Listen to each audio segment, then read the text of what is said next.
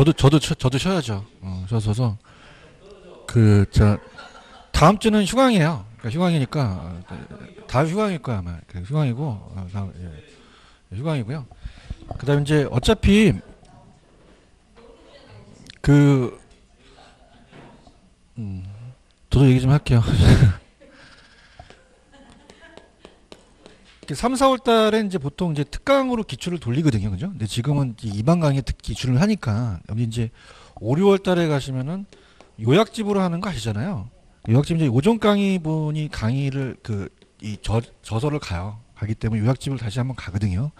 그래서 이제 요 기출 문제가 완전히 완벽하게 가기는 좀 힘들어요. 그죠? 그래서 제가 나올 수 있는 것만 이렇게 찍어서 가도록 할게요. 아시겠죠, 그죠? 어, 이게 지금 저도 이제 최대한 안 빼먹고 가려고 하는데 이걸 사주 과정에 다 하기는 좀 힘든 거거든요. 그래서 최대한 제가 준비를 해서 이렇게 이렇게 나옵니다라는 아웃라인을 잡아드리면서 갈 테니까 그렇게 좀 하셨으면 좋겠어요. 도움이 많이 되셨나요?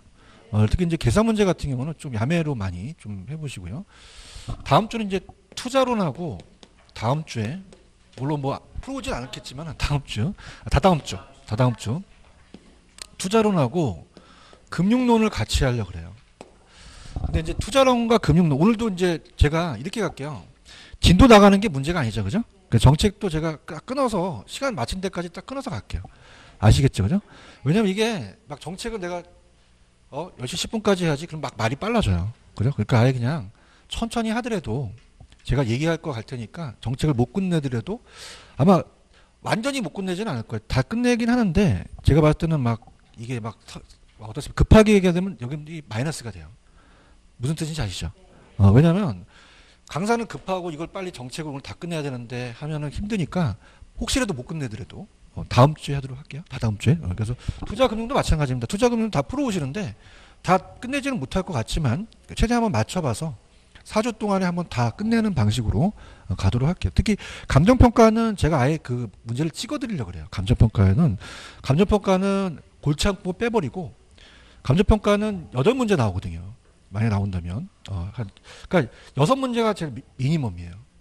그럼 여러분들 감정평가에 여섯 문제 나오면 몇 문제 맞히기를 원하세요? 어, 여섯 문제는 도둑이고요. 그렇죠, 그렇죠. 네 문제 정도 맞힐 수 있게끔 마지막 주에 감정평가는 나오는 걸 좀 찍어드리도록 할게요. 무슨 말씀인지 아시죠? 근데 감정평가는 계산이 좀 어렵게 나와요. 그래서 아까 뭐 차 안에서 땡긴다 그런 야매 없어요. 그러니까 감정평가는 계산은 제가 문제집이나 때 와서 할 테니까 동의하십니까? 왜냐하면 네 문제만 맞춰도 감정평가는 합격을 해요. 오늘도 지금 이게 하면서 공시지가라는 게 있거든요, 그죠? 그러니까 이렇게 해서 좀 감정평가 파트는 어, 욕심내서 그러니까 강사가 이렇게 생각하시면 돼요. 제가 봤을 때는 우리가 이제 강사가 너무 욕심이 많잖아요. 그건 못 알아들어도 막 집어넣어줘요. 근데 그냥요 지금 상태를 봐야 돼요. 병원에 여러분들이 의사들이 진, 진찰을 하잖아요.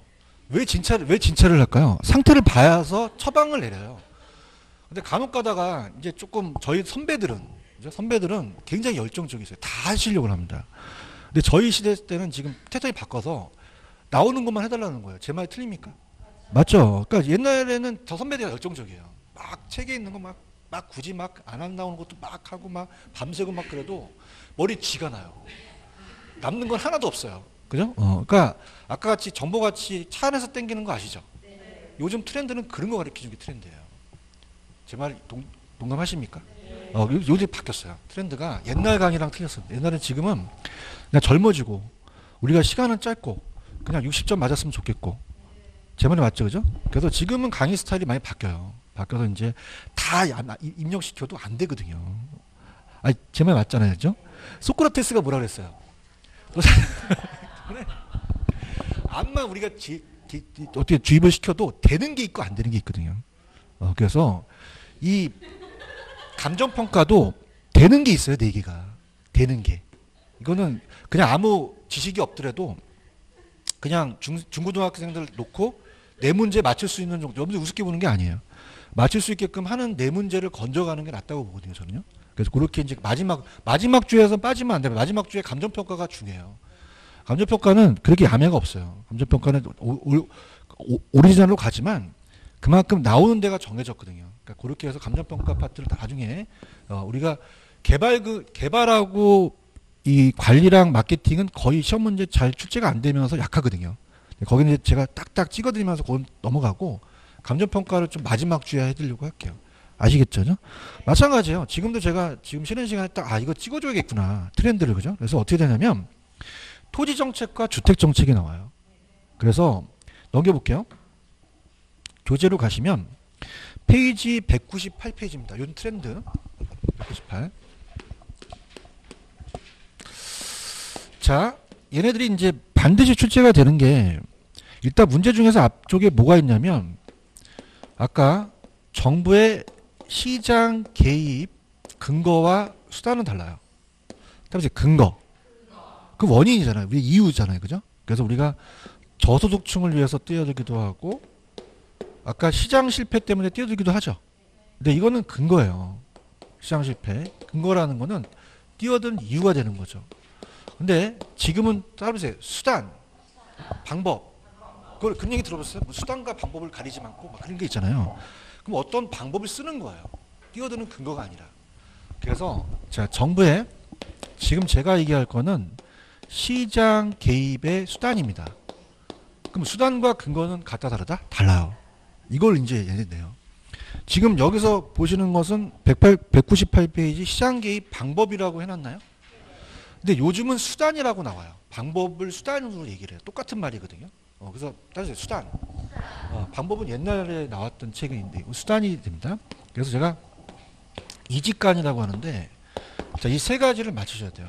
토지용 규제냐, 직접 개입이냐, 간접 개입이냐. 자, 그래서 토지용 규제는 아까 지역지구제가 대표적이죠. 그래서 우리가 어, 사회적 바람직한 방향으로 돌리는 거예요. 지역지구제든지 어, TDR은 우리나라에 들어왔어요? 아직 안 들어왔어요? 어떻게 알았어요? 영어니까. 어, 그래서 개발권 양도는 R이 우리나라에 들어왔다 안 들어왔다? 안 들어왔지만은 지역지구제 보완책이니까 토지용 규제를 보기도 해요. 그 다음 이제 지구 단위 계획 같은 거 들어보셨죠? 각종 인허가. 근데 얘네들이 직접 개입과 간접 개입을 무조건 띱니다. 그래서 직접적의 그 키워드와 간접적의 키워드를 그 골라내셔야 돼요. 그러니까 직접은 수요자 공급자를 직접 해서 공용 개발, 공공 개발이에요. 그래서 얘는 공용이라는 게 들어가죠. 자, 공용 개발한다는 건 그냥입니까? 토지를 수용합니까? 수용하고 그 다음에 공공 임대주택 있죠. 음, 공공 임대주택. 그래서 옛날에 이명박 정권 때 보금자리 주택 건설 공급이라고 나왔는데 이 저자분이 공공 임대주택 건설 공급을 바꾸셨더라고요. 그럼 그것도 그냥요 직접에 들어가요. 직접에 들어가고 자 토지 은행제도 아시죠? 근데 이제 공공 토지 비축이라고 나오거든요. 공공 토지 비축 제도. 그래서 이거는 토지 은행 제도랑 똑같은 유사한 거예요. 그럼 이것도 무슨 개입이다? 직접 개입. 그래서 이따 찾으실 때 따보세요. 공영, 공공, 토지 수용 이런 게 나오면 직접 개입 찍으셔야 돼요. 그 다음에 우리가 이 도시의 재개발, 도시 재개발하는 것도 직접 개입에다 나왔었고요. 간접적은 시장기구 틀을 유지해요. 그래서 보조를 해줍니다. 그래서 제가 어렸을 때 보조개가 잘 들어갔어요. 따보세요. 보조개. 보조개 나오면 간접이에요. 자, 보조라는 건 보조금을 지급하고 조세를 때리죠. 세금 나오면 무조건 간접입니다. 우리나라에 개발이 환수 제도가 있죠. 개발 부담금 제도가 있어요. 그래서 개발 부담금이 나옵니다. 근데 개발이 생략될 수도 있어요. 그러면 부담금이나 개발 나오면 다 간접 지으시거든요. 그 다음에 금융상 지원이에요. 금융상 지원 또는 행정상 지원, 정보체계를 구축한다든가 이런 게 나오면 다 간접 찍으셔야 돼요. 아시겠죠? 그죠? 어, 그래서 한번 문제를 한번 볼게요. 넘겨볼게요. 페이지로 가시면은 아까 앞쪽에서 안 풀었던 게 105페이지입니다. 105페이지로 가시면은 어 2번 문제 있죠. 자 갈게요. 정부의 시장 개입할 수 있는 근거가 아닌 건 수단 차지라는 거예요. 그러면 수단은 어떤 거죠? 개발부담금 부과죠. 그런가요? 개발, 개발부담금 부과했다는 건 개입할 수 있는 근거입니까? 어떤 수단입니까? 수단 방법을 쓴 거지 근거가 아니죠. 이해하셨어? 무슨 얘기인지 아시겠어? 어, 그러니까 무슨 말이냐? 봐봐. 자, 우리가 아들 키우신 분들 막 아들이 성년이 됐으면 막 문 팍 열, 막 열면 돼안 돼요? 안 되죠. 어. 그 아들 방에서 이상한 소리가 나요. 그 엄마가 뛰어드는 그냥이요 근거가 되는 거예요. 근거가 됐죠. 어. 그래서 얘가 게임을 하나 아니면 여자친구랑 통화를 하나 야동을 보나 이렇게 하는 거죠, 그죠? 근데 야 너 외출 하지 마 라는 건 그냥이다 수단이다. 무슨 말씀인지 못 알아듣겠어요? 알아요? 어, 근거와 수단은 같다 다르다? 달라요. 그럼 밑에 가시면 개발부담금 부과라는 게 있나요? 개발부담금 부과 있어요? 이건 근거입니까? 수단입니까? 정부가 정책을 쓴 방법이 되겠죠. 오케이? 그럼 다른 게 다 근거가 되겠죠? 어, 이해하셨나? 그럼 수단하고 근거는 같아 달라? 달라요. 아시겠죠? 그죠? 어, 다섯 개. 그냥이야 정부가 투기하니까 시장에 개입해. 저도수 때문에 개입하지? 난개발 때문에 개입하지? 자원 배분의 비효율성이라는 건 시장이 실패했기 때문에 개입하는 거예요. 맞나? 네, 개발부담금 부과한 건 개입이야, 수단이야. 방법을 쓴 거죠. 어, 오케이? 어, 그래서 요즘은 굉장히 트렌드가 어려워져요. 그러면 수단하고 근거가 다르다는 거죠. 이해 갔나요? 음, 그럼 넘겨보세요. 3번입니다. 3번에 직접 개입 수단을 찾으라 그랬죠. 그럼 따보세요. 공공, 토지 수용, 공용 개발, 공공 임대 네 개가 되겠죠. 어, 나머지가 다 간접 개입이에요. 어, 대부 비율도 간접이거든요. 그죠? 음. 그런가요? 자, 4번 틀린 거 1번 개발부담금 부과 있죠. 직접적 개입입니까? 간접이죠, 간접. 음. 아, 지금 얘기하셔야 됩니다. 계속 얘가 뜨요. 그죠? 그죠? 음. 그 다음에 5번에도 틀린 거 1번. 자, 아까 제가 개발이 생략되면 부담금이 나올 수 있죠. 그럼 보조금은 무슨 개입이야? 간접이죠. 그럼 직접과 간접이 계속 추진되는 거예요. 그런가요? 어, 넘겨보세요. 자, 그 다음에 6번 가시면 우리나라에 시행되고 있지 않는 정부의 개입 수단은 TDR이죠. 어떻게 알았어? 아, 감사 감사합니다. 영어니까 아직 안 들었잖아요. 음. 아니 진짜 그때 당시 산문을 찍었다는 거야. 왜요, 교수님? 아, 영어니까 찍었다는 거야. 근데 이제 이거는 아직 안 들어왔어요. 이게 검토되고 있죠, 그죠? TDR 은 아직 우리나라에 시행되고 있지 않습니다. 음. 이해하셨습니까? 음, 그렇게 보시고요. 그 다음에 넘겨보세요. 10번. 10번을 가시면은 틀린 거 5번 메뉴에 자 10번에 5번 공공주택 건설 공급이라는 단어가 있네. 아니 111페이지 맨 밑 위에 5번 있잖아. 자 이게 원래는 그때 당시 보금자리 주택 건설 공급이라고 나왔거든요. 보금자리 주택 들어보셨어요? 옛날에는 그게 공공주택이었어요. 지금 행복주택이 바뀌었으니까. 근데 이 저자가 그 요새 트렌드 안 받으니까 공공주택을 바꾸신 거예요. 그럼 공공이 들어갔죠? 간접이 아니라 직접 개입이라는 거죠. 그런가요? 그 다음에 11번에 틀린 건 5번인데, 자, 5번이 왜 틀렸냐면, 자, 주택보급률이 100%여야 돼요? 100%를 넘어야 돼요? 그래야지만 양적 문제를 해결하는 거거든요. 그렇다고 해서 정부가 주택시장에 개입하지 않는다? 또 개입해야 된다? 해야 되죠. 어. 100% 넘었다고 해서 질적 문제가 해결된 건 아니잖아요. 그 다음에 시장의 지역마다 또 다를 수도 있죠. 그럼 정부의 개입이 더 필요하다는 거죠. 이해 갔나요? 어, 몇 5번 정답 넘겨볼게요. 자, 그 다음에 이제 자, 이제 제 그 책을 보면서 자, 쭉 넘겨볼게요. 책을 쭉 넘겨보세요. 넘기시면은 페이지 210페이지로 가보세요. 210페이지로 가시면은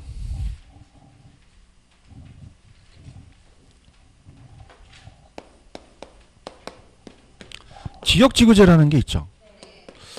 자, 가끔 가다가 공법 문제가 나와요. 그죠? 어, 그래서 우리가 지역, 지구, 구역이라는 게 있죠. 자, 어느 것만 중복이 안 돼요. 지역끼리만 안 돼요. 다 됩니다. 이게 봐요. 뭐만 안 된다? 지역, 지역끼리만 안 돼요. 이렇게 안 돼요, 돼요? 다 된다니까. 이렇게도, 이렇게도 다 된다는 거예요. 뭐만 지역끼리만 안 돼요, 지역끼리만. 아시겠습니까? 그러니까 예를 들어서 상업지역하고 주거지역이 있죠. 돼요, 안 돼요? 안 되는 거죠. 음. 이해하셨습니까? 음. 근데 지구는 안 될까, 될까? 돼요. 미관지구는 된다는 거죠. 지역끼리만 안 되는 것만. 아시겠죠, 그죠? 어, 그죠? 무슨 얘기인지 아시겠어요? 그러니까 뭐만 안 된다? 어, 맞아요? 어, 이해 갔어? 어, 그러니까 얘네들끼리 안 되는 거야. 얘네들끼리, 얘네들끼리, 얘네들끼리, 얘네들끼리 이렇게 돼? 이렇게 이렇게 씨, 된다니까. 씨. 아주 한장하지네. 씨. 이렇게, 음, 이렇게, 이렇게, 이렇게. 얘만 안 되는 거야. 아시겠죠? 지역 지역끼리만 안 되는 거예요. 아시겠습니까? 어, 이게 공법 문제예요. 미치겠어. 내 공법부터 해. 미치겠네. 환장은 되지만. 알겠어요? 어, 그래서 뭐라고요? 만능이에요? 어, 아 미치겠어요. 세법도 해요, 요새. 아 미치겠어요. 힘들어 죽겠어. 월급 더 줘야 되는데, 그죠? 어, 힘들어 죽겠어요. 어, 자, 그래서 그렇게 하고 또 이제 어떻게 나오냐면 이 자식들이 공법 문제를 또 내요. 넘겨보세요. 전용 주거 지역구를 내요. 212페이지 가보세요. 아, 뭐 별걸 다 내. 212페이지 가시면은 전용과 일반 주거 지역 배우셨죠? 자, 그럼 전용은 그냥이요. 양호한이 들어가요. 일반은요. 편리한이 들어가거든요. 이게 바꿔내요. 그 다음에 이제 우리가 공법에서 종이 클수록 층수가 높아져요. 자, 전용은 그냥입니까? 단독과 공동입니까? 어, 그러면 누가 더 층수가 높아요? 이종이 높아요. 맞습니까? 마찬가지로 일반도 1종, 2종, 3종 있잖아요. 그럼 층수가 그냥이야 종이 높아질수록 커져. 저층, 중층, 중고층이라는 거지. 어, 아시겠죠? 그죠? 그럼 이따가 전용 주거 지역이 나와. 그럼 전용이 나오면 뭐가 나와야 돼? 양호한이 나와야 돼요. 양호한. 그래요? 그 다음에 일반이 나오면 편리한이 나와야 돼. 그렇지? 음. 그래서 우리가 제가 아는 전, 전양이 있어요. 어, 전양이 결혼했는데 그 남편만 일편단심으로 사랑해요. 따보세요. 따보세요. 전양. 일편. 이렇게 하세요. 어, 그래야지만 맞춰요. 음. 아시겠죠? 그죠? 음. 그, 알겠죠? 어, 어. 알았어. 가, 가, 알았어. 가만히 있어. 자.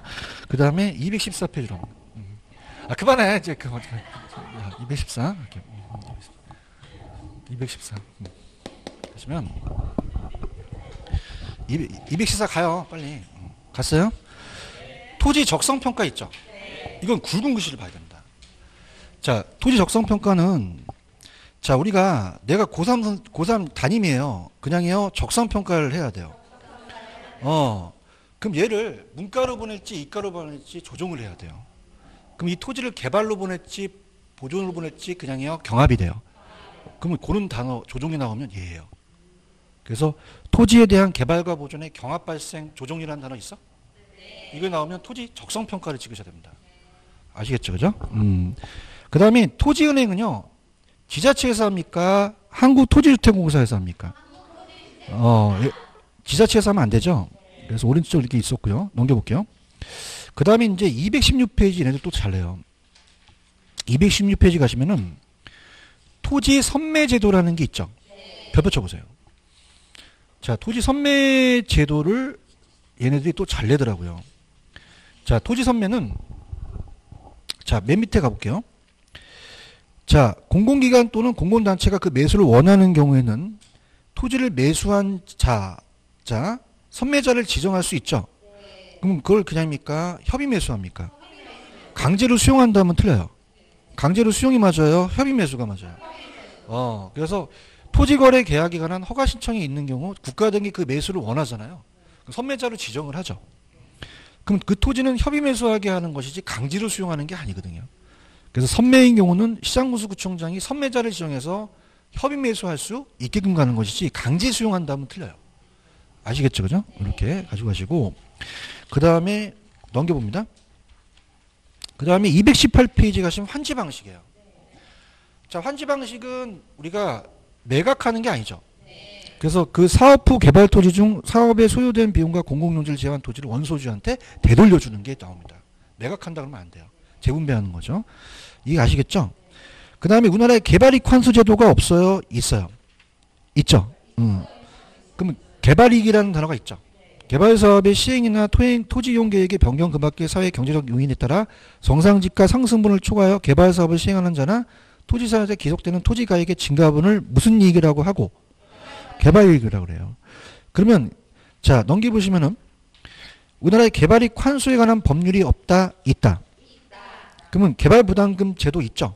그래서 그, 그 법에 따라서 국가가 부과하는 징수하는 금액이 개발 부담금이에요.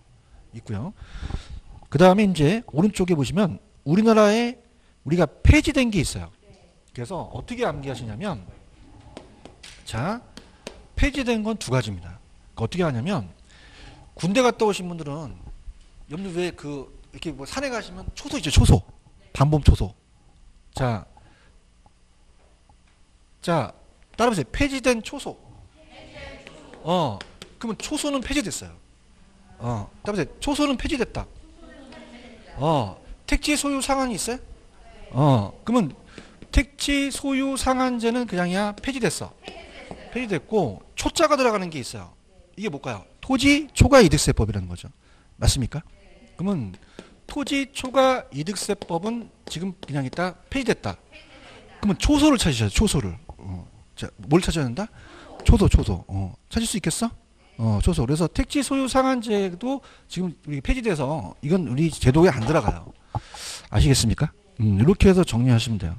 무슨 말 아시겠어요? 음, 그럼 가볼게요. 자, 문제가 어떻게 나오냐? 들어갑니다.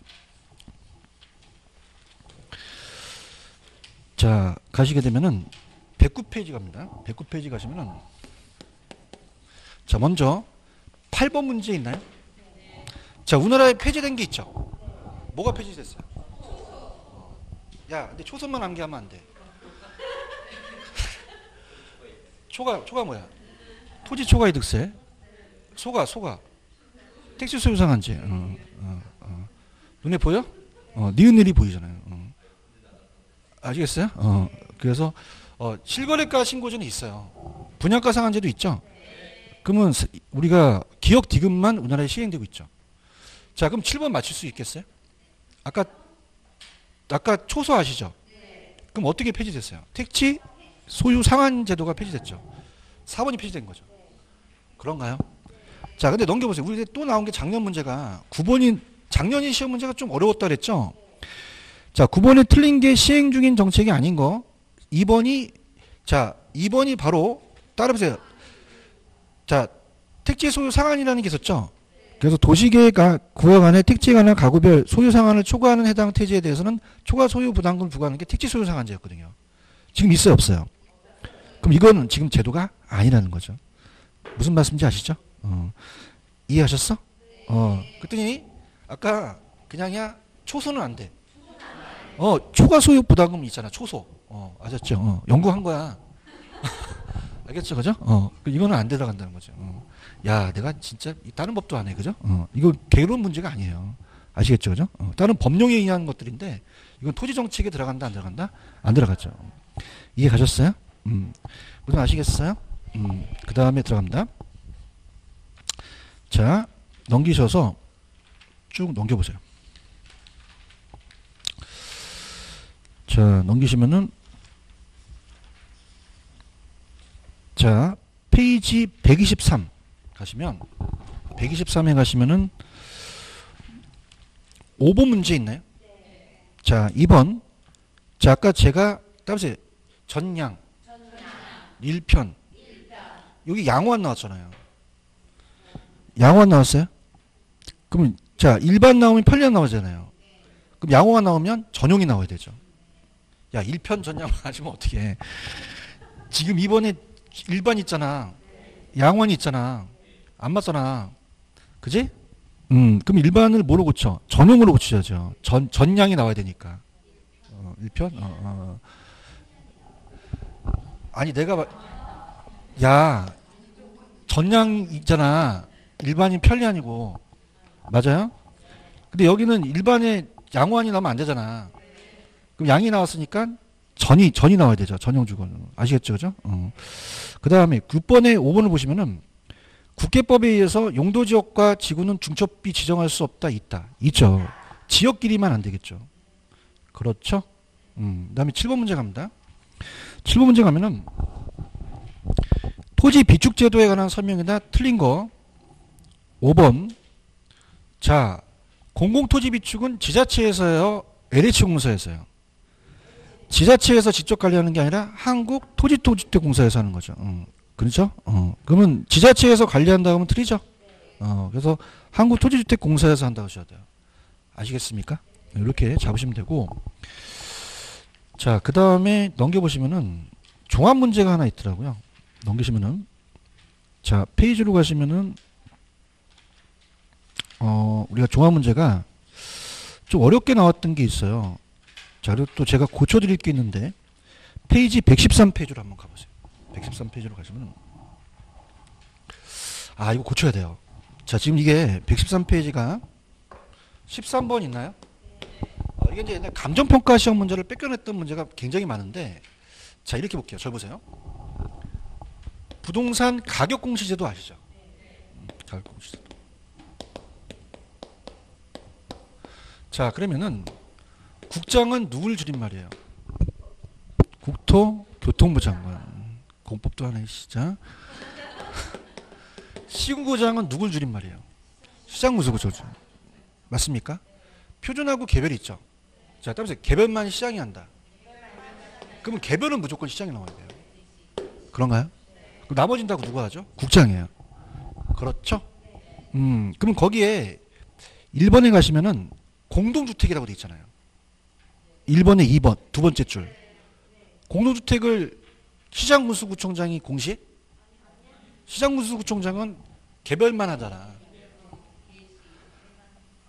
가자. 나봐. 개별은 누가만 누가 하고? 나머진 다. 어, 공동 표준 다 국장이 한다는 거예요. 알겠어요? 어. 걔만 시장이 하는 거죠. 음. 알겠어요? 어. 걔만 누가 한다? 시장. 시장군수구청장이에요. 맞나요? 그래서 121페이지 한번 가보세요. 또 냈어요, 얘네들이. 121페이지. 자, 121페이지 3번에 넘겨보세요. 4번 갑니다. 4번이 왜 틀렸는지 지적해보세요. 누가 하죠? 시- 시주구청장이죠. 그죠? 어. 그러면 외울 필요가 있어 없어? 없다는 거죠. 음. 분위기 안 좋다. 좋아? 개별만 누가 해? 시장. 나머지 국장. 음. 나봐. 표준주택 누가 해? 공동주택. 개별 공시지가. 개별주택. 너무 짜증 날 것 같아. 그 이거예요. 개별만 시장이 하죠. 나머지 다 국장이에요. 그죠? 국장이 시장이 하는 게 아니고 공동주택을 이 시장 그 시장군수구청장이 하는 것이 아니라 공동주택은 국장이 하죠. 개별만 시장이 한다는 걸 계속적으로 내고 있어요. 아시겠죠, 그죠? 음. 그 다음에 내가 어디에다 흥분하다 왔어? 113페이지 하다 왔지? 음, 113페이지. 그래요? 음, 그래서 공동주택은 누가 한다? 국장. 그러면 완전히 틀려버린 거죠. 그렇죠? 음. 토지 선물 기억나세요? 강제로 수용합니까? 협의 매수하는 거죠. 어. 협의 매수하죠. 그렇죠. 여러분들이 오늘 올해 나올 중개사법에 나올 게 궁금하시죠? 안 궁금하면 얘기 안 하고 궁금해요.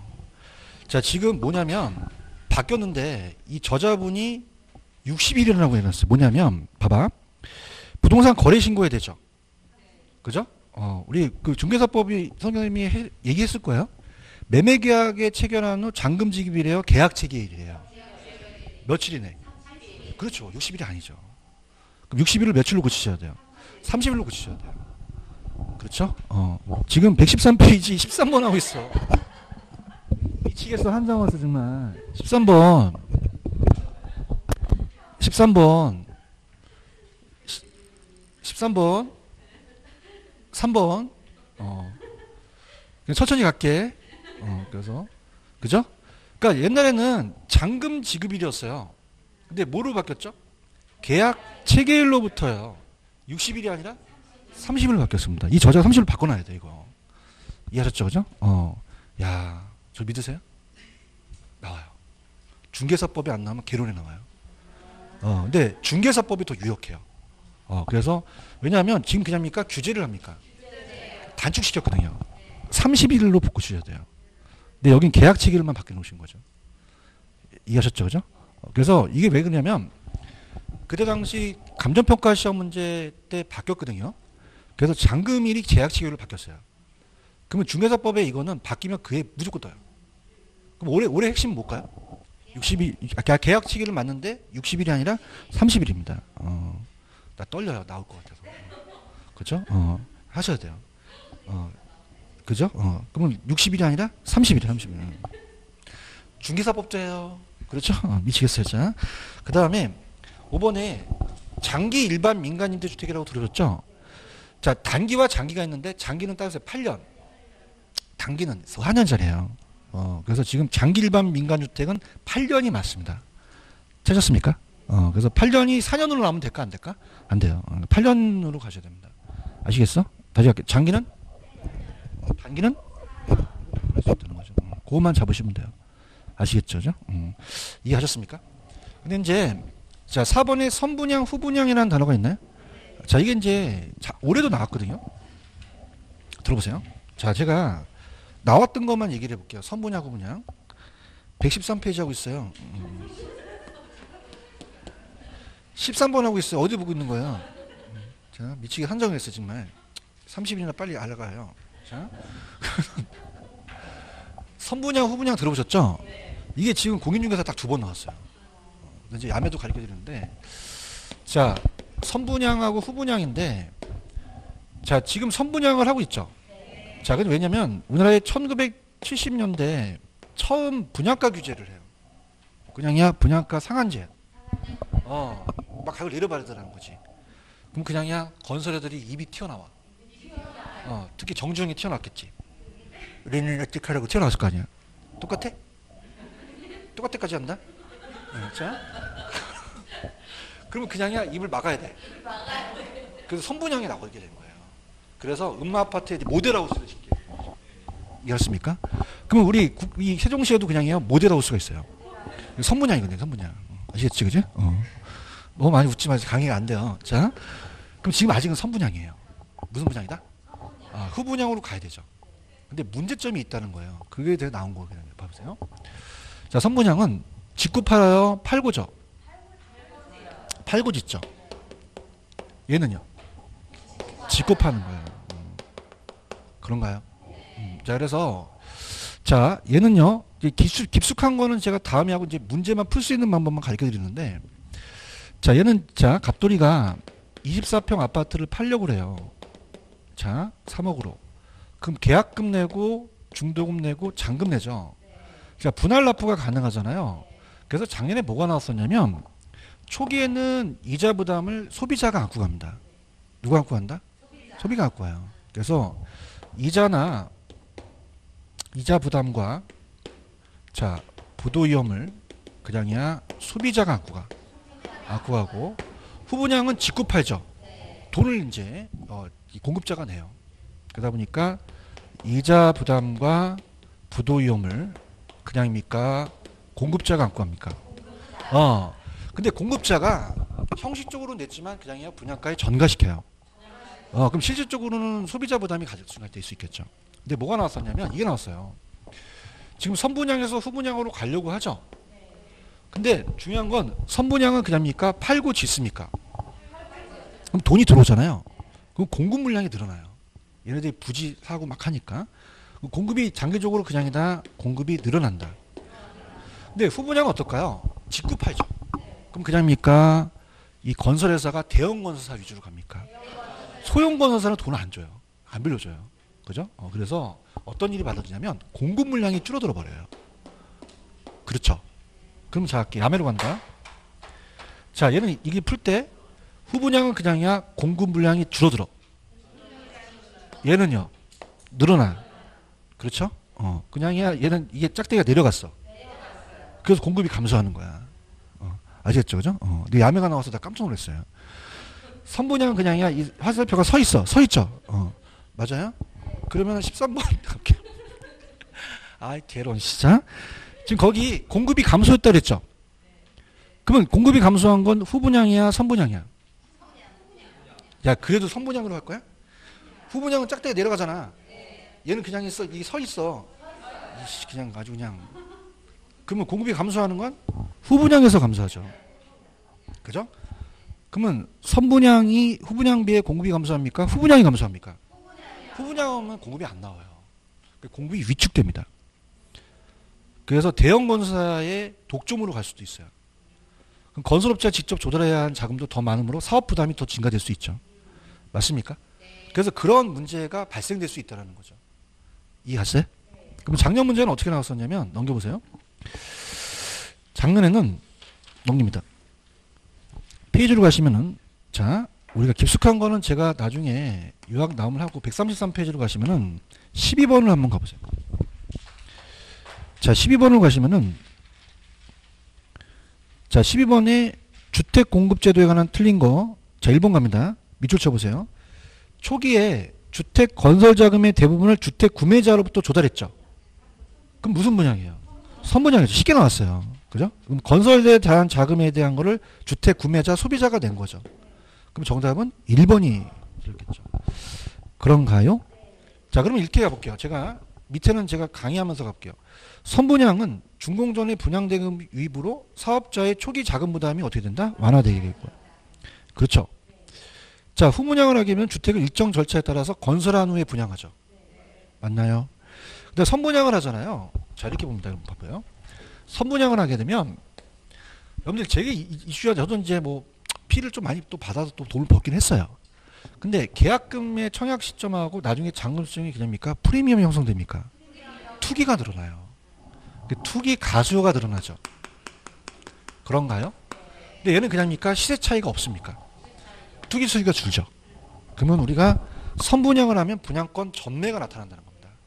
그래서 가수요가 창출해서 시장이 불안전하기 때문에 후분양으로 가자는 얘기예요.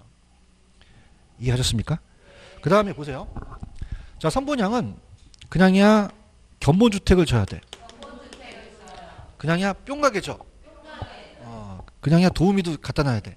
어? 이쁘다! 다 찍고 그러는. 근데 우리가 그러면 계약 시점에 견본주택만 뿅가 나중에 잔금 입주 시점에 부실공사도 뿅가. 어, 두번꾼 거예요. 어, 그러면 이게 부실공사가 초래될 수 있다는 얘기죠. 그런가요? 근데 후분양은 견본주택이 필요 없죠. 견본주택도 나중에 분양가에 전가돼요. 여러분들 이 견본주택에 따라서 분양이 잘 돼요. 그래서 이제 서울에도 강남의 양재동에 그게 거기가 분양이 잘 되는 곳이 있거든요. 경쟁이 심하대요 거기가. 그럼 그냥이야 또 시설비가 많이 들어가. 우리한테 좀 부담이 오는 거죠. 근데 얘는 그냥이야 견본주택이 필요 없어. 부실공사도 초래하지 않으니까 소비자 위주로 간다는 거죠. 이해되는데? 지금 5분 하고 있어? 소비자 소비자 측면이 후분양 제도라는 거죠. 그래서 선분양보다 부실 시공 및 품질 저하에 대처할 수도 있다는 얘기예요. 아시겠죠? 어, 이렇게 해서 아까 그 두 문제를 가지고 연습을 한번 해보셔도 되고요. 자, 그 다음에 들어가 볼게요. 그렇게 가고 자, 그 다음에 이제 125페이지로 가시면은 125페이지로 가시면은 자, 125페이지에 주택 정책이라는 게 있죠. 어, 그래서 이제 갈게요. 근데 이제 지금 뭐 이걸 다 하기는 좀 어려워요. 자, 그래서 자, 우리가 이렇게 봅니다. 지금 여러분들 1번 문제는 정답이 4번이 정답이에요. 몇 번이 정답이다? 4번. 자, 보세요. 봐봐. 임대를 규제하잖아요. 그냥요 가격을 내려요. 그러니까 상식적으로 한번 보자고. 그럼 가격을 내리면 질적을 상상시킬까? 저하되죠. 어, 대화를 하자. 어, 그지? 어, 향상시켜? 하락시키죠. 어. 근데 주택이 나와야 안 나와? 그러면 주택이 부족하잖아요. 그럼 기, 기존의 세입자의 주거 이동을 촉진시키는 게 아니라 저, 저, 저하시키는 거죠. 아시겠습니까? 음, 아니 대화를 하자. 어, 이거는 우리가 이 대화 속에서 삭트잖아. 아시겠죠, 그죠? 어, 그러니까 우리가 가격을 떨어뜨린 거잖아. 그러면 우리가 질적으로 질적 향상시키는 게 아니라 저하되고 돈을 안 설치해주고 물량이 나와 안 나와? 그럼 물량이 부족하잖아. 그럼 기존 세입자의 주거 이동도 저하되는 거죠. 음. 아시겠습니까? 그 다음에 밑에 장기 전세 주택이 시프트예요. 20년이 나와요. 몇 년 나온다? 20년이에요. 30년 나오면 안 돼요. 그죠? 근데 어떻게 보냐? 전세 계약이 몇 년이에요? 그래서 20년이에요. 뭐 아야. 그러면 30년 나오면 된다 안 된다? 안 돼요.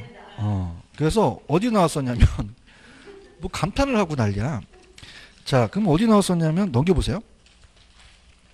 넘기시면은 129페이지입니다. 129페이지 보시면은 6번이에요. 지금 보기, 보고 계세요? 6번 있어요? 음, 장기전세 주택 몇 년? 왜? 2년이 전세 계약이니까 어, 이렇게 가는 거야. 알겠지? 어. 머릿속엔 그것밖에 안 남아. 그죠? 어. 야, 그런데 2년이라고 하면 안 돼? 20년이야? 어, 야매인데 야매는 야매일 뿐이지, 그죠? 음, 음. 어머, 교수님, 20년 아니라 2년 아니야? 20년이야. 알겠지? 어, 일, 공만 더 붙여. 장기전세 주택? 20년. 30년? 왜? 2년 2년 해야지. 아, 잘한다. 아이고, 죽겠다. 자, 그 다음에, 그 다음에 넘겨보세요. 넘기시면은, 126페이지 가시면은 2번, 3번, 4번 있어요? 2, 3, 4 있죠? 자, 이건 이제 왔다 갔다 하면 또 힘드니까 들어보세요. 그다음에 임대료 규제. 어, 규, 들어보셨죠? 그럼 임대료 하한제예요, 상한제예요? 상한제죠. 어, 자, 갑니다. 임대료 규제 정책입니다. 자, 그래서 상한제라고 하죠. 최고 가격제라고 들어보셨죠? 그래서 이제 가격하고 양이 있으면은 공급과 수요예요. 이렇게 이렇습니다. 자, 그래서 만약에 지금 시장 상황에서 7천만 원인데 규제를 높게 할 때와 규제를 낮게 할 때가 있습니다. 낮게 할 때. 자, 그러면은 자, 들어볼게요. 자, 규제를 높게 하게 되면요. 자, 7천만 원 받는데 8천만 원 받으면 일로 갈까요? 안 갈까요? 안 가요. 그럼 다시 균형으로 오죠. 그냥요. 아무런 변화가 없어요. 높게 했을 때 변화가 없어요. 초과금이 나타날 수 없죠. 그 높게 했을 때 효과예요. 낮게 했을 때. 낮게 했을 때 초과 수요가 발생되는 거죠. 그런가요? 근데 단기와 장기가 같다 다르다? 달라요. 그죠? 어, 그렇죠. 음, 그래서 단기는 가격 탄력성이 비탄력적이에요. 탄력적이에요. 비탄력적이에요. 장기는요. 탄력적. 이거 암기하셔야 됩니다. 근데 공급만 그럴까요? 수요도 그럴까요? 그럼 아예 안개 버리시는 게 좋아요. 그래서 어떻게 암기하시냐? 다음에 단비, 장탄. 어, 장탄이라는 곳이 있어요. 저기 경상도에. 가뭄이 왔었어요. 어, 단비가 내립니다. 어, 디에 단비가 내려요? 장탄에. 알겠죠, 그죠? 어. 그래서 다음에 장탄 단비. 어. 단기는 비탈, 장기는 탄력이라고 합니다. 이 바뀌면 안 돼요. 아시겠죠, 그죠? 어. 이해하셨어요? 어. 재밌어? 어, 나, 아, 나만, 야면 이따 가봐. 신났어, 신났어, 그냥 아주. 수만 그래, 공급도 그래. 둘 다 다 그래요. 어. 그럼 아예 안기 버리시는 게 좋아요. 어. 장탄에 담배가 들렸다. 어. 아시겠어요? 어. 그러면은 보세요. 자, 갈거 아닌데. 시간은 잘 가죠? 밤 됐으면 좋겠죠? 어. 가야 돼요, 10분에. 자. 단기는 공급을 못 늘리고 못 줄여요. 그럼 그냥 그냥 못 줄여. 어, 그럼 못 줄이니까 물량이 안 줄어들어요. 그러다 보니까 이렇게 된다면 균형이 7천이죠. 6천으로 하게 되면 초과 수요가 발생하겠죠. 그러면 초과 수요라는 건 사는 사람이 더 많아서 15개 있지만 공급 물량은 10개밖에 없다는 겁니다. 그런데 그냥입니까? 기존에 있는 사람이 있습니까? 어, 혜택을 보. 그래서 완전 비탈러적일 때는 공급을 못 줄이죠. 비탈러적이니까. 그럼 어떻습니까? 여기에 임대인의 천만 원 얘한테 기존 임차인 혜택 가서 얘한테 소득이 재분배가 되는 거죠. 그럼 그냥야 단기에는 효과가 있어. 효과 있어요. 근데 주택 중요한 것은 그냥야 주택은 부족해. 부족하죠. 주거 이동이 저하되는 건 단기도 저하돼요. 그런가요? 근데 장기는 더 저하되겠죠. 그냥야 더 공급이 부족해. 네, 탄력적이니까. 탄력적이니까. 그래서 가격과 양에서 완전히 서 있는 상태에서 균형을 이루는데 자, 탄력적은 그냥이야 공급을 줄여. 어, 줄여요. 이렇게 해서 아까는 못 줄였잖아요. 15개고 얘가 10개니까 5개만큼 초과수가 낮잖아요. 그렇죠? 공급을 줄여도 되겠어요? 아니, 줄이지 마. 허락 먹고 줄- 줄여? 그럼 따로 탄력. 그- 그냥이야 누워. 이렇게 누워요. 그럼 공급이 다섯 개로 가는 거죠. 그러면 공급이 다섯 개, 수요가 열다섯 개면 그냥입니까? 초과 수요가 열 개입니까? 그럼 초과 수요가 더 벌어진다는 얘기예요. 그럼 그냥입니까? 임대주택 구하기가 더 어렵습니까? 어려워요. 그런가요? 자, 그러면 얘들이 공급만 줄이겠어요? 질도 떨어뜨리겠어요? 도배를 해줄까? 그럼 기존 임차인하고 사태질 하죠? 도배 줘야 되는 거 아니야? 방을 빼라는 거야. 뺐더니 방이 있어 없어? 그냥 다시 들어가. 도배가 정이 들어요 그런 거지. 그럼 그냥이야 질적이 저하돼. 저하되죠. 어, 아시겠습니까? 어. 그다음에 암 시장이라는 거 아시죠? 뒷거래가 발생돼요. 그러면은 안뼈 파는 아줌마가 몇 퍼센트 박수 치면서 팔아요? 모자 쓰고 와요. 어, 그래서 땀새 일로 와봐 그러죠. 그럼 그냥 제 목소리가 음성적이에요. 그러면 이중 가격이 형성될 수 있다는 거죠. 그럼 더 주, 주택 구하기가 어려워진다는 거죠. 아시겠죠? 그죠? 그래서 키포인트 잡습니다. 자, 2번입니다. 126페이지 2번. 서민의 주거 안정을 위한 주거복지 정책에 틀린 것은 1번. 여러분들, 정부가 임대 상승을 통제할 때 단기적으로도 봐봐. 그냥이야 초과 수요가 발생했죠? 그럼 단기도 그냥, 그냥이요 주거가 부족해요. 활발하진 않죠. 촉진되는 건 아니겠죠. 대답해 주세요. 자, 3번에 틀린 거 5번. 정부가 규제하는 주택임대료 상한이 시장 균열보다 높아야 영향을 줍니까? 낮아야 됩니까? 어, 높으면 영향을 안 줘요. 그런가요? 자, 4번에 틀린 거 2번. 임대료 상한을 균역 가격 이하로 규제하게 되면 공급 과잉이 발생해요. 초과 수요가 발생해요. 그렇죠. 공급 과잉이라는 건 발생되지 않죠. 어, 틀렸나요? 넘겨보세요. 그 유명한 단비 장탄을 아시나요? 자, 그러면 5번 갑니다. 임대료 규제가 임대주택 시장에 미치는 효과에 관한 설명 중 틀린 거. 그다음에 단비 장탄. 자, 한번 그러면 임대료 상한이 낮을 때 단기는 뭐예요? 비탈. 장기는 바뀌었죠. 할 수 있겠어요? 어. 야, 단비 장탄만 한 게 하면 뭐 하니? 단기는 비탈. 장기는 탄력이 되는 거죠.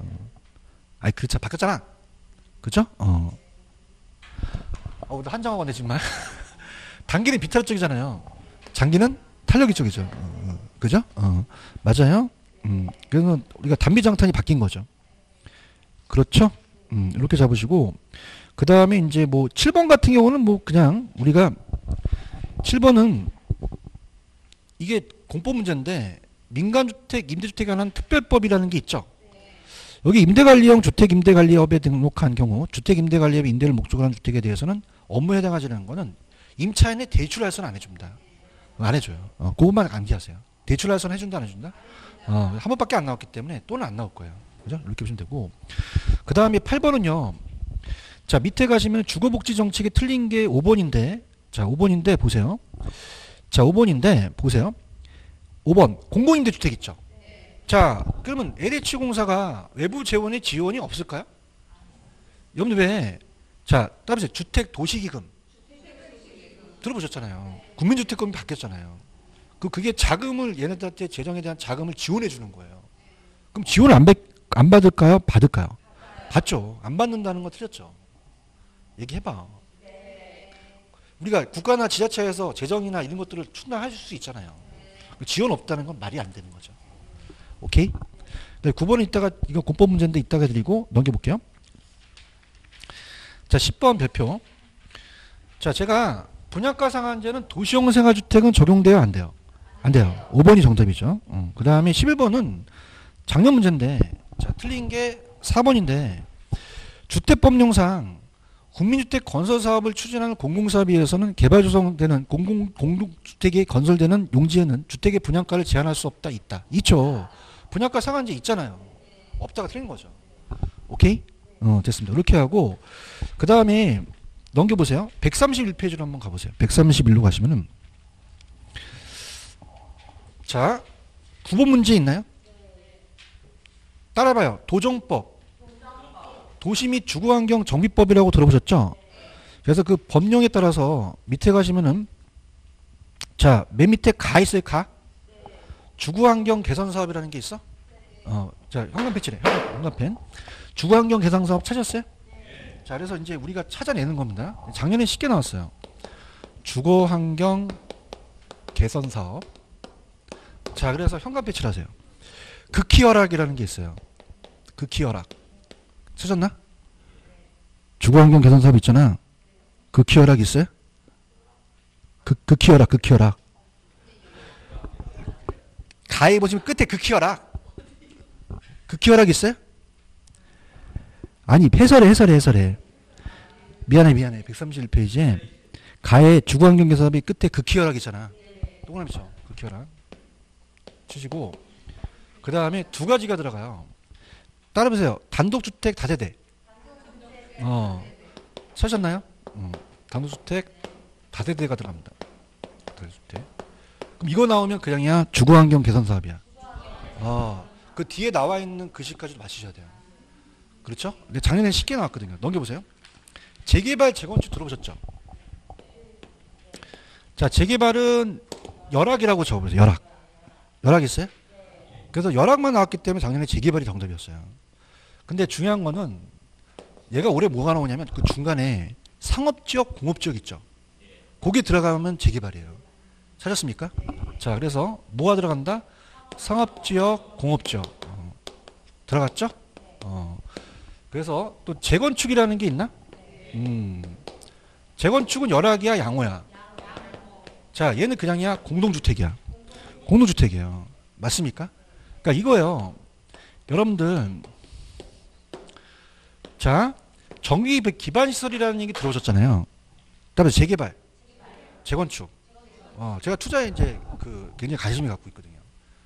그다음에 아현동 아세요? 아현동? 어, 바람 부는 나는 압구정동 간다고?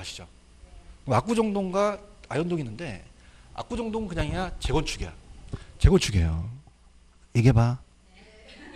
그냥이야 압구정동으로 가면 바람 부는데 압구정 가면 그냥이야 기반서는 양호해.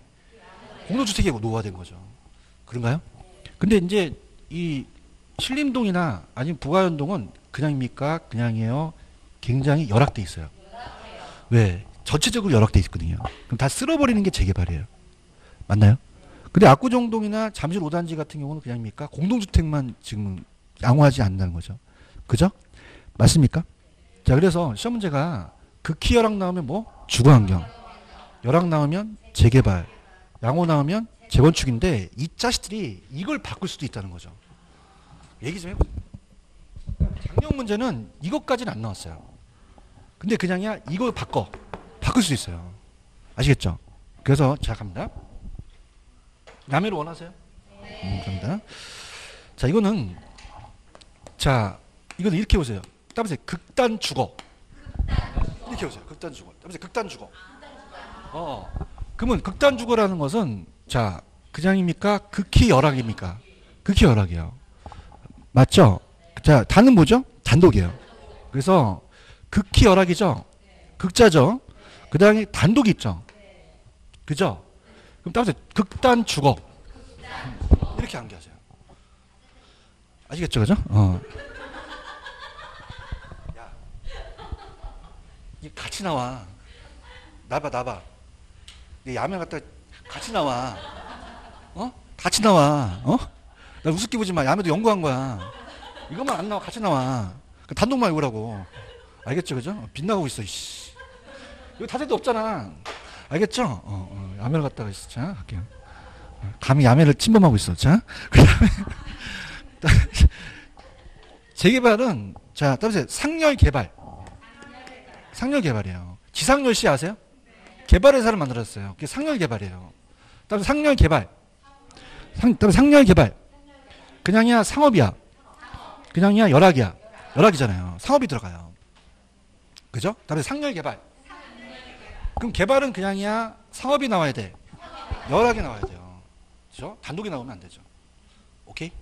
알겠어요? 어, 맞아, 맞아요? 그러면 재건축은 여러분 아시잖아요. 뭐가만 나와야 돼요? 공동주택만 나와야 돼요. 양호한. 알겠죠? 그죠?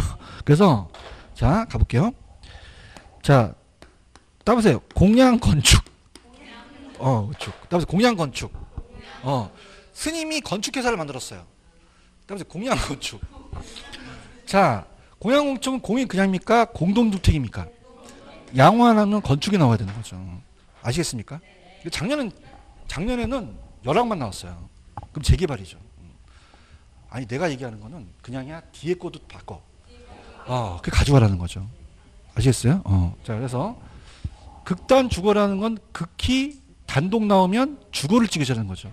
아시겠습니까? 어. 아시겠어요? 어. 지상렬이 개발회사를 만들었죠? 그 개발회사가 상열 개발이에요. 그죠? 그럼 개발 나오면 뭐다? 상업 나오고 열악 나와야 되는 거죠. 그래요? 그 다음에 스님이 건축회사를 만들었죠? 공양 건축, 공양 건축. 그럼 건축은 그냥이야 공동주택, 양호 안이 들어가는 거죠. 그죠? 어, 근데 작년 문제는 굉장히 쉬워 나왔어요. 열악만 나왔어요. 그러면 131페이지 가시면은 9번에 가시면 열악만 출제됐죠. 그럼 뭐예요? 재개발이죠. 이해 갔나? 어, 그렇게 가는 거죠. 어, 무슨 말씀 알, 알겠죠? 그죠? 어. 그러면 그냥 야 뒤에 거도 바꿔. 바꿀 수 있으니까 거기까지 가셔야 되는 거죠. 있겠죠? 그죠? 이렇게. 어. 무슨 말인지 아시겠어요? 어. 그래서 다시 갈게. 시험 문제는 잘 봐요. 만약에 시험 문제 많이 곱범이 나온다면 이것도 뒤집어서 깔 수 있어요. 근데 중요한 건 극히 열악 나오면 주거환경이고 열악 나오면 재개발이고 양호하면 재건축인데 그냥 야 안에 걸 바꿔. 아 중요합니다. 이 자식이 어떻게 나올지 몰라요. 아시겠죠, 그죠? 그래서 우리가 극단 주거라는 건 극히 열악 나오고 단독 나오면 주거 찍고 개발회사를 누가 만들었어? 그럼 상렬이 만들었지? 그럼 상업 열악 나오면 재개발 찍고 어. 스님이 건축회사를 만들었는데 감사합니다. 공동이고 야오면 건축이라는 거죠. 할 수 있겠죠, 그죠? 어, 이렇게 정리를 해주세요. 그러면 공법 문제도 하나가 돼요. 그래서 예전에 이게 공법에서 하나 나오고 개론에서 한번 나왔었어요. 어, 그러니까 두 가지를 다 가져갈 수 있습니다. 근데 아까 계약 체결에서부터 60일이에요, 30일이야. 어, 중개사법도 가져갈 수 있어요. 어, 다 해요. 월급 더 줘야 돼요. 맞죠? 어, 힘들어 죽겠어요. 음. 자, 그래서 어, 그래서 자 다음 주에 135페이지 가시면은 조세 정책 있죠? 어, 다음은 또 세법을 야매를 해요. 다 세법을 하니까 다음 주에 다 다음 주죠? 그 다음에 투자하고 금융을 꼭 풀어오세요. 어, 다 다음 주에 뵙도록 하겠습니다. 여기까지입니다. 수고하셨습니다. 예.